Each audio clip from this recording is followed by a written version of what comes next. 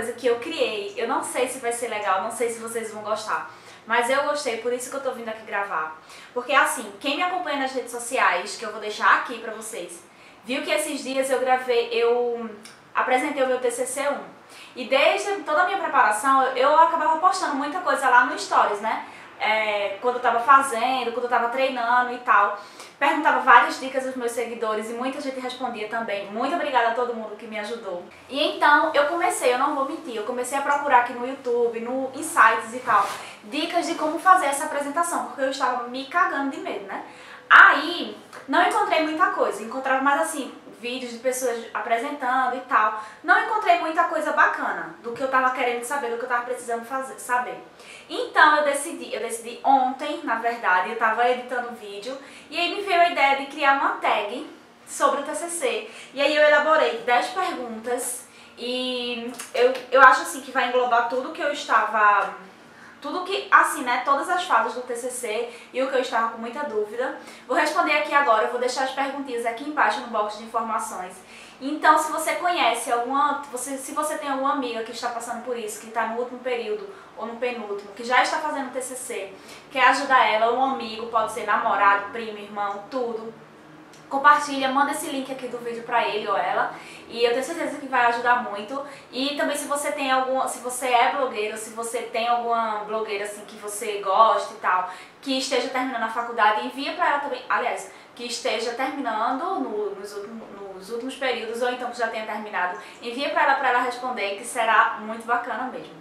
Então, a tag contém 10 perguntas. Então, as perguntinhas estão aqui no caderninho. Vamos lá começar para não ficar muito longo, né? Para variar. Então, primeira pergunta. Qual foi o tema do seu TCC e por quê?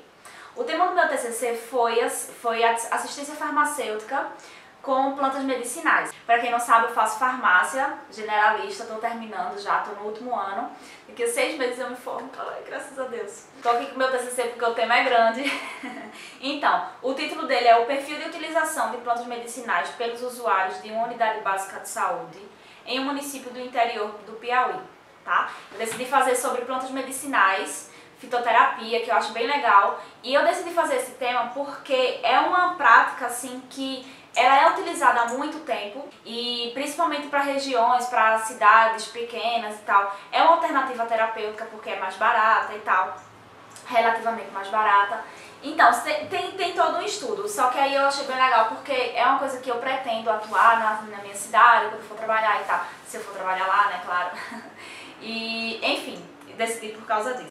Pergunta 2. Como foi a sua orientação? O que você mais gostou e o que menos gostou. Então, eu decidi, obviamente, como eu queria assistência farmacêutica, atenção farmacêutica, só tinha praticamente uma professora assim que eu via na faculdade que iria conseguir me orientar da forma que eu pretendia. E aí, eu gostei da minha orientação, ela me orientou bem. No, nos últimos tempos, assim, a minha orientadora acabou não me orientando muito, mas acabou que deu certo também. Deu tudo certo, isso é o que vale. Assim, é uma coisa importante porque você tem que escolher um orientador que, que você saiba que ele vai te auxiliar, sabe? Porque é aquela coisa, é o seu primeiro TCC, você nunca fez, né? É diferente do que fazer um, um trabalho de faculdade normal. Então, você tá mais ansioso, você tá mais estressado, você tem pouco tempo relativamente, né? Pouco tempo para fazer as coisas. E aí, se o seu professor tem muito, seu orientador, tem muitos alunos, tem muitos orientandos, vai dificultar um pouco, porque o, o tempo que ele tiver livre, livre, ele vai ter que se dividir em vários alunos. Então, o, a primeira dica é você encontrar, assim, primeiro decidir o seu tema, né? E aí você pega a, a, grade do, dos professores que você tem e qual deles vai se encaixar naquele tema. Então eu tenho que primeiro decidir o tema que eu vou fazer para depois eu vir procurar o professor que melhor se adeque a ele. E se tiver opções de professores, você vê aquele que você tem mais empatia, que você gosta mais, que você se dá melhor, para poder ser uma coisa bem legal, porque não tem nada, eu acho, né, que não tem nada mais chato do que você fazer um trabalho por obrigação e acabar não gostando do professor, brigando, essas coisas, né? Terceira pergunta. Você fez no tempo certo ou acumulou tudo?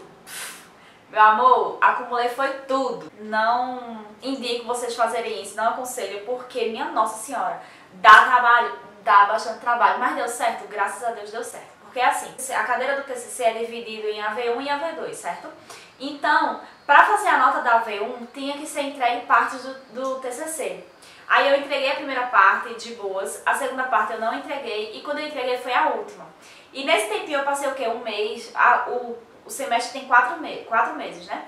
Então eu passei assim um mês, um mês e meio sem nem tocar no TCC, eu nem, eu nem tocava.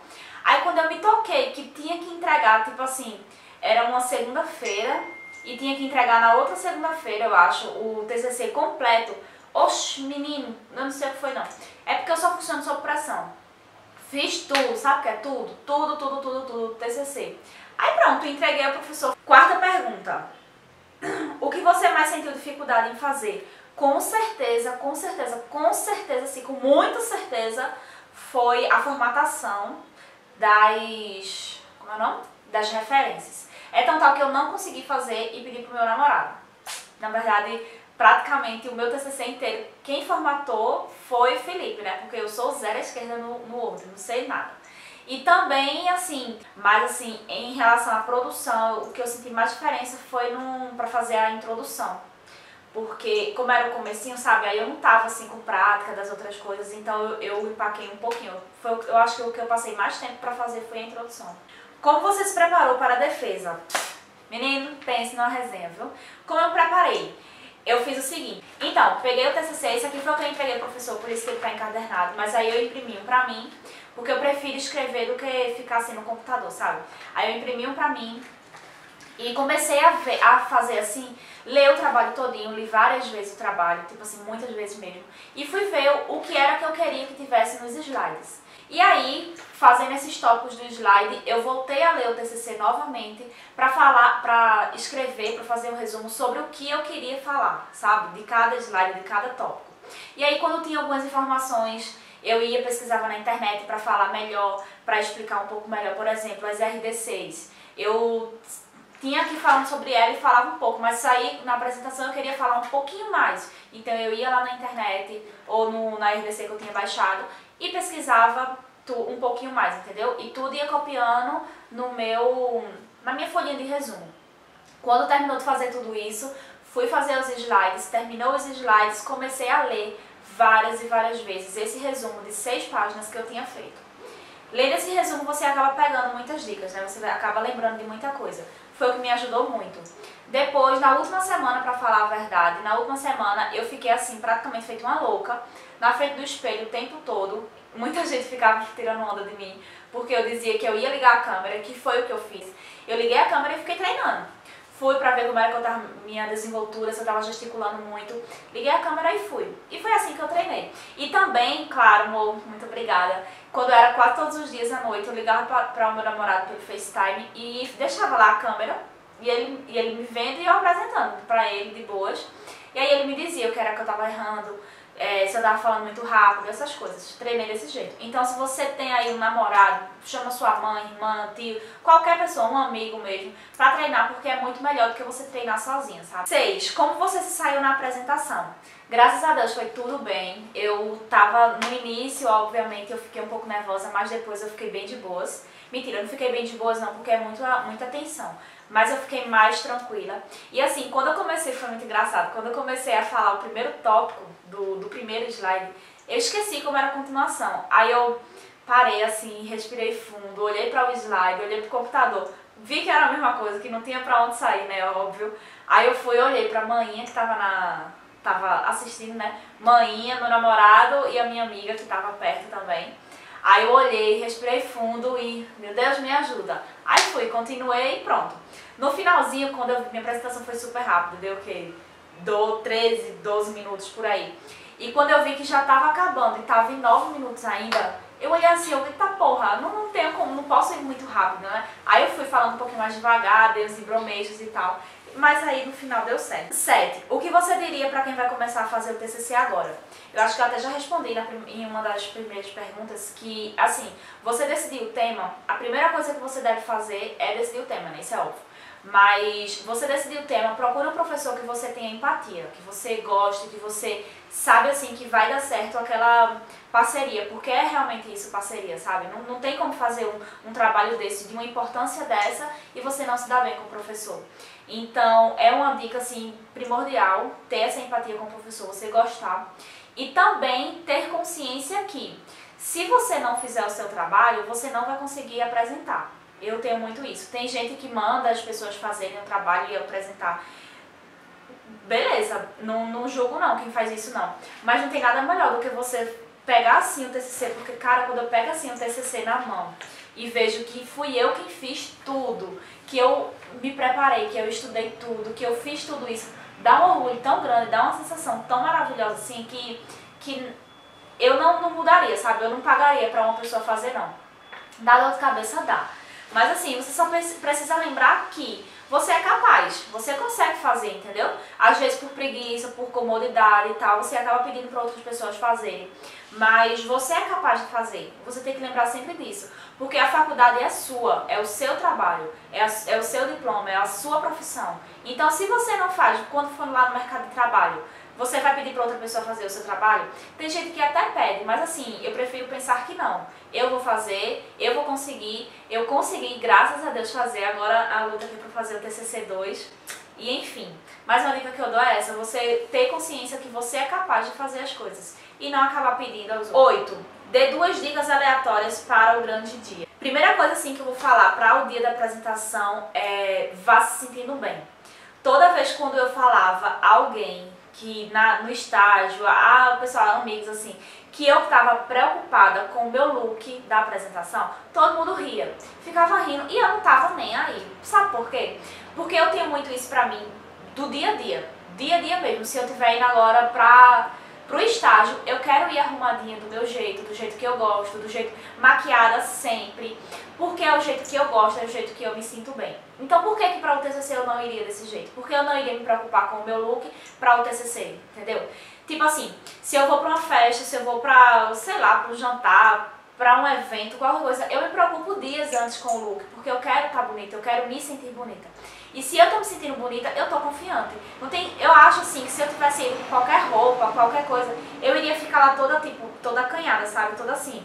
E eu não queria isso. Eu não queria demonstrar que eu tava com medo, se bem que eu tava com medo, mas eu não queria demonstrar tanto, tanto assim na cara, com aquele olhar assim. Então o que é que eu quis? E com um look bonito, e com um look bacana, porque eu sabia que eu ia tirar foto, né, claro, pra poder postar, isso é óbvio. Que por sinal eu vou deixar aqui, viu, o Instagram por aqui, sei lá, o Instagram pra vocês verem lá algumas fotinhas que eu postei. E eu queria estar me sentindo bonita. Eu não fui muito maquiada, eu fui maquiagem bem neutra, na verdade eu fui com essa maquiagem, eu acho. Acho que até com o batom, só que eu mudei. Cabelo, do jeito que eu sempre gosto, a minha franjinha de boa, aqui, o cabelo onduladinho. Pronto, fui bem assim, bem tranquila. E com o meu look eu me preocupei em relação a isso, porque eu queria estar tá com o look legal, porque eu me sinto mais confiante quando eu tô bem arrumada, quando eu tô bem vestida. E se você é desse jeito, tipo eu, que gosta de sair de casa, que gosta de estar sempre bem arrumada, é uma coisa que você é bom sim prestar atenção no dia do look. Por quê? Porque o look, a aparência, não é só assim, não é besteira, é autoconfiança. Se eu tô me sentindo bonita, então eu vou estar tá bem lá na frente, entendeu? Eu penso desse jeito. Tem gente que pensa que isso é frescura, então problema de quem pensa assim. E outra dica também é você chegar cedo. Isso é óbvio? É. Mas assim, outra coisa, confira muito seu horário, porque assim, lá na faculdade eles colocam uma plaquinha com a sala que você vai apresentar o seu nome e tal, quem é o orientador, essas coisas, né? para identificar e deixar lá no, no, quadro de avisos. Quando eu cheguei, eu não fui na faculdade um dia antes, nem no dia mesmo. Eu não fui ver isso, eu só sei que eu tinha marcado o meu horário para às 17 horas com a minha orientadora, com o professor, com tudo, às 17 horas. Então eu, eu decidi chegar na faculdade às 16h30.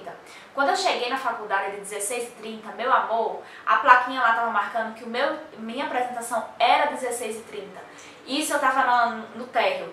Eu não tinha forças, eu tava de salto, né? Eu não tinha forças para subir a escada. Eu fiquei tremendo mais que vara verde. Eu pensei assim, pronto, tô reprovada por, por, por atraso. Aí eu já tava imaginando, todo mundo ia tirar onda comigo, porque eu chego atrasada em todo lugar.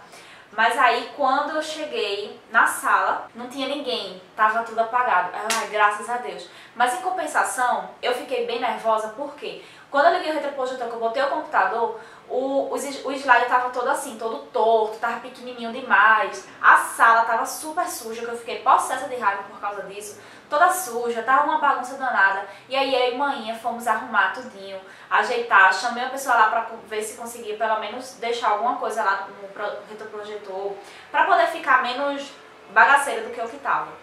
E aí, quando eu cheguei, graças a Deus, os orientador, o, a minha orientadora e os avaliadores chegaram atrasados. Graças a Deus foram eles. Então, como teve esse tempinho, eu acabei ficando mais calma, porque eu fiquei lá tirando foto. Sim, fiquei ensaiando, fiquei lendo de novo, fiquei conversando com minha amiga, fiquei conversando com manhã, com o Felipe, com tudo. E aí foi, fui me deixando mais calma. Quando o professor chegava, eu conversava um pouquinho também. Aí acabou que eu fiquei bem calma por causa disso. Nove, uma coisa bem importante também, mimos da banca. Precisa, você deu alguma coisa, você deu o quê? Então, não é que precisa mas já tem uma tradição, né? Uma certa, uma, uma certa tradição de dar esses, esses mimos em agradecimento à banca que foi avaliar o seu projeto, o seu trabalho. Eu dei sim, eu estava preocupada, eu queria dar uma coisa bem legal mesmo, porque eu sou dessas, eu queria dar uma coisa assim bem que o professor pensasse logo, lembrasse logo de mim, sabe? Ficasse de recordação. Mas o que eu queria era caro. E eu, enfim, né? Não tava com dinheiro, não vou mentir. Mas aí eu dei uma coisinha assim personalizada, com o meu nome, agradecendo e tal. A frasezinha que eu coloquei no final do trabalho, que é se você pode sonhar, você pode fazer, que eu adoro essa frase. 10. Qual foi a sua nota de apresentação? Você faria algo diferente? Então, a minha nota não saiu ainda, porque lá no dia eles só dizem se foi aprovado ou não, e a nota ainda não saiu. Porque assim, hoje eu estou gravando dia 6, e a apresentação foi ontem, dia 5, então não saiu a nota ainda, mas quando eu liberar esse vídeo, se a nota já tiver saído, eu vou deixar aqui embaixo, tá? No, no box de informações, lá na resposta da pergunta 10, eu vou deixar pra vocês. E você faria algo diferente? Não, eu acho que eu não faria algo diferente não. Eu, apesar assim, de ter acumulado algumas coisas, de ter, enfim, deu tudo certo, porque eu realmente, como eu já falei, eu funciono sob pressão. Quando as coisas assim estão mais apertadas, eu consigo fazer as coisas. Então, eu não faria diferente. Eu acho que se eu tivesse feito com mais tempo e tal, talvez eu tivesse tido mais erros. e aí eu vou fazer todas as correções e tal, né, pra poder começar a fazer a coleta de dados. Aí é outra etapa. E vai ser bem intenso, porque vai ser um desafio, na verdade, pra mim, né? Porque eu não tenho muito, assim, muita prática, não tenho muito jeito de conversar com as pessoas, de abordar uma pessoa pra fazer entrevista e tal. E eu vou fazer isso lá na minha cidade, a pesquisa vai ser na minha cidade, né, óbvio, lá em Marcolândia. E, mas enfim, é, eu acho que vai ser legal, vai ser bacana pra mim também. E é isso, acabaram as perguntinhas. Eu espero muito que vocês tenham gostado. Muita gente estava perguntando lá no meu Instagram, perguntando como é que foi, me deu... Ai, gente, eu agradeço demais. Teve tanta gente que, que tava torcendo por mim, que mandaram tantas mensagens no direct, no Instagram, no Facebook, no WhatsApp. Tanta gente mandando um monte de mensagem, desejando boa sorte. Pedindo, falando assim, Bela, fica calma, vai dar tudo certo, não sei o que, você consegue. Ai, muito bom, não tem coisa melhor que isso. E quando deu certo, eu fui lá fazer snap, né? Chegou, tava assim, bem eufórica mesmo, um monte de gente ficou feliz. Eu sei que muita gente ficou feliz porque eu acho assim que se fosse falsidade mesmo, as pessoas não iriam se incomodar ir lá no meu Instagram e tal, né? Pra poder mandar uma mensagem. E todo mundo que mandou mensagem eu agradeço demais. Então é isso, eu espero muito que vocês tenham gostado. Como eu falei, manda esse vídeo aqui, o link desse vídeo aqui pra sua amiga, pra, pra qualquer pessoa que você conheça que está passando por isso ou que já passou e para ver aqui como é, para pegar algumas dicas. É, espero vocês no próximo vídeo. Beijo bem grande, tchau. Não esquece de comentar aqui embaixo o que vocês acharam. Me contem aí, vocês já apresentaram o TCC? Vocês estão se preparando? Como é que tá sendo? Conta aqui pra mim que vai ser, eu vou gostar de saber. E também não esquece de dar um joinha, se inscreve aqui no canal. Ah, e ativa o sininho, sabe? Aquele sininho que fica aqui perto. Então, ativa ele, porque sempre que tiver vídeo novo, vai aparecer uma notificaçãozinha lá no seu celular ou no seu computador que teve vídeo novo meu aqui, tá bom? Espero muito que tenham gostado, gente. Um beijo bem grande, tchau e até o próximo vídeo.